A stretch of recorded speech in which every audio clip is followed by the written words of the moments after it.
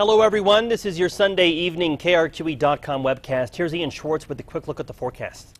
Quite a uh, wintry-like start to the Monday. Uh, we have a storm system making its way through California. It'll arrive here late tonight, and what it'll bring is a mix of rain and snow starting from west, making its way to the north and east.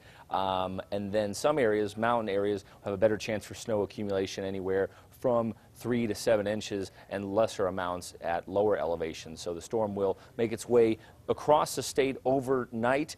And on Monday night we will switch from rain to all snow. So areas in the northeast can expect uh, some light accumulations with snow showers. Even seeing those snow showers linger into Tuesday AM, AM so Raton could be waking up to some snow. But as we get into Wednesday things will clear up pretty quickly and a nice week ahead. Uh, even in here in Albuquerque uh, mainly rain for us though but sunshine after the storm passes through for the rest of the week.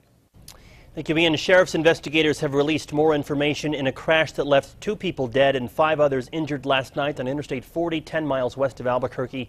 Killed in the crash was an 11-year-old passenger, Ileana Palacio, and a 50-year-old passenger, Silvio Mendoza. The injured include three other adults and two children. Sheriff's officials say the driver of the SUV had either stopped or slowed down after missing the exit for the Route 66 casino and making a U-turn. Minutes later, the vehicle was rear-ended by a semi-truck going 70 miles an hour. Right now, speed and alcohol do not appear to be factors in the crash.